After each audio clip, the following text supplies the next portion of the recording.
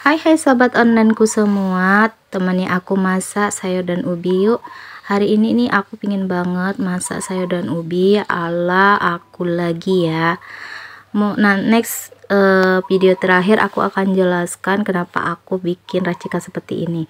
Uh, ini aku masukkan santan kemudian aku masukkan bawang merah bawang putih cabai dan jahe tidak lupa aku masukkan dua batang serai, kemudian aku aduk. Tujuan diaduk-aduk agar santan tidak pecah ya.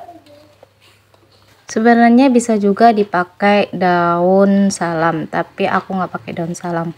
Setelah mendidih aku masukkan daun ubinya dan aku aduk-aduk sampai rata kemudian kita tunggu sampai matang dan tidak lupa kita kasih garam dan kaldu sedikit cerita ya bun kenapa aku bikinnya begini. Itu tuh uh, aku tuh lihat umi aku masak kok enak ya? Jadi aku coba karena aku bosan yang pakai kemiri yang pakai ketumbar terus kunyit.